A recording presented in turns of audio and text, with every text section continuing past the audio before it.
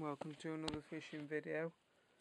Today I'm going to show you what types of feeder there are available to us on the market today. So first there's the classic open-ended feeder. You just put it onto your line with stop, fill it full of bait, cast it out and you can use that this size. Small roach or even tench. But you can get bigger ones. For carp. Next we've got block end feeder. I tend to use this for maggots and odd bit of ground bait you know you same put it on same as open ended feeder. It's just not got open ends. And then we've got good old method feeder.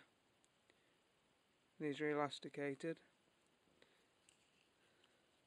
Yeah.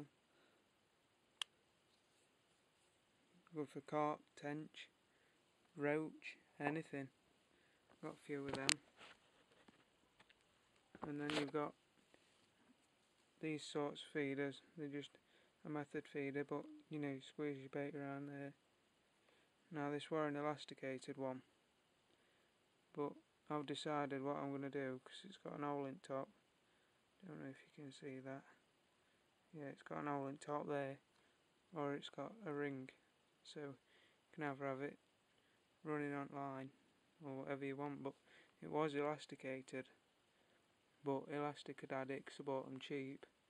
So I've decided I've got this bead from it. Got bead, little stop bead and I'm just going to use it where the shot is an elasticated uh, free running.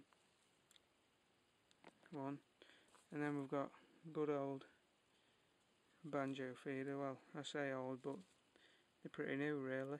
They've only been out a month or two. These are proving very effective for roach, rod of a big carp.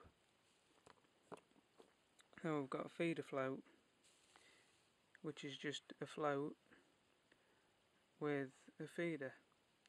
So you just use it as a float and then the bait disperses around your hook bait and that's for people who like to use floats and for the method feeders. You can either get inline or elasticated. I've got elasticated and an inline one.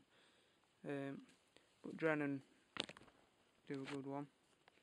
You know that's a mould for them and uh, they're inline and elasticated. Get them in both. They're proving very good. You can get them in small or large. It's a small. But I'm alright with that. I've got carp up to ten and a half pound on them at Rathorn Lane Fishery. So it's uh, it's alright. So those are the feeders. Make sure there's no more.